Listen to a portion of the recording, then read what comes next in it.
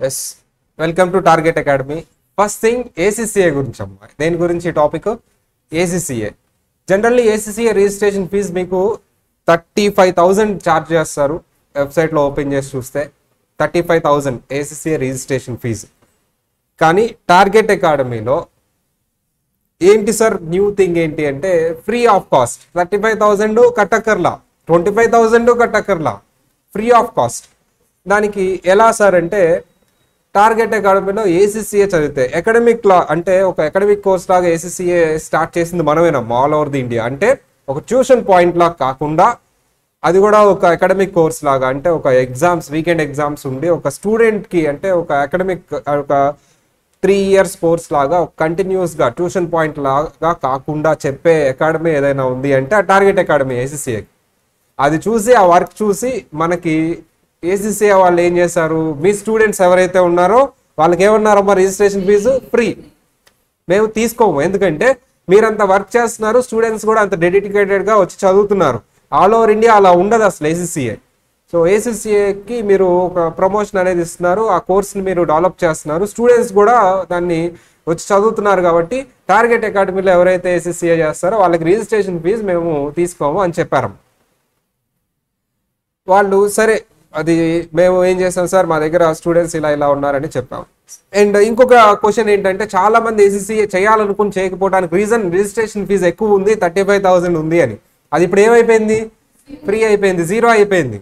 And uh, ఇంకొకటి చాలా రెగ్యులర్గా అడిగే క్వశ్చన్ ఏంటి సార్ అంటే సార్ ఏసీసీఏకి జాబ్స్ వస్తాయా రావా? అమ్మ మీకు ఇక్కడ కనిపిస్తుంది ఏసీసీఏకి జాబ్స్ ఏంటి అని. చూసారా? ఎన్ని జాబ్స్ ఉన్నాయమ్మో? ఓన్లీ హోమ్ బేస్కి వెళ్తే ఇది ఏసీసీఏ కెరియర్ పోర్టల్ ఇది. అంటే ఏసీసీఏ చదివితే గ్లోబల్గా వస్తాయా? జాబ్స్ ఇండియాలోనే మాత్రమే వస్తాయా? గ్లోబల్గా జాబ్స్ వస్తాయి. ఇక్కడ చూస్తే ఇదిగోండి చూడండి అమ్మా. అకౌంటెంట్ పోస్టులు ఎన్ని ఉన్నాయంట? Thirteen thousand and ninety two post at present ఓపెన్లో ఉన్నాయి అకౌంటెంట్ పోస్టులు so accounts assistants one thousand seven fifty six accounts payable one thousand eight sixty four అలా ఓవరాల్గా చాలా జాబ్స్ ఓపెన్లో ఉన్నాయి ఏసీసీఏ ఏసీసీఏ ఎవరైతే చదువుతారో వాళ్ళకి ఇది మళ్ళీ అన్ని పేపర్స్ కంప్లీట్ చేయక్కర్లేదు. మీరు డిగ్రీ త్రీ ఇయర్స్లో స్కిల్ లెవెల్ వరకు కంప్లీట్ అవుతుంది కదా.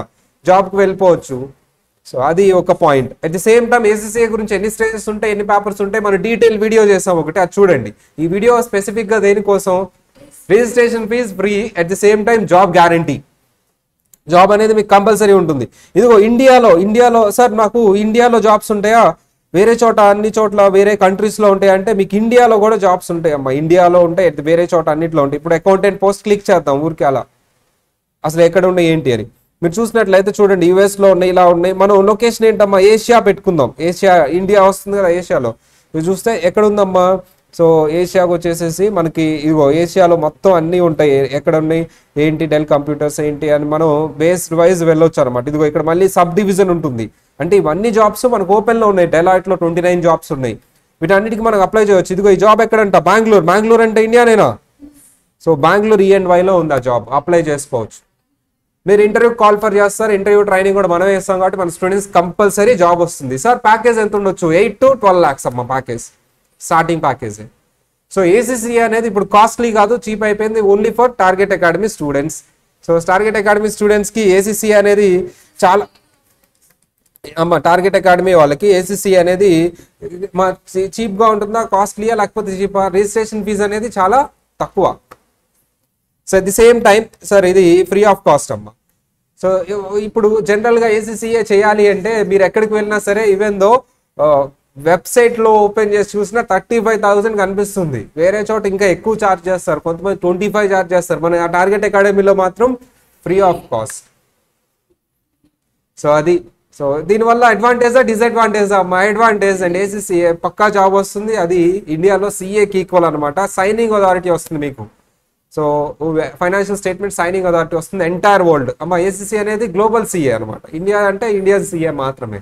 అండ్ ఈజీ పేపర్ వైజ్ రాసుకోవచ్చు. ఇవన్నీ డీటెయిల్స్ మీకు తెలిసిందేగా సో దట్స్ ఆల్ ఓకేనా ఇంకేమైనా డౌట్స్ ఉంటే మీకు కామెంట్ సెక్షన్లో పెట్టండి. నేను ఆన్సర్ చేస్తూ ఉంటా. Ready hmm. ఇంకేమైనా డౌట్స్ ఉన్నాయా? ఏం లేవా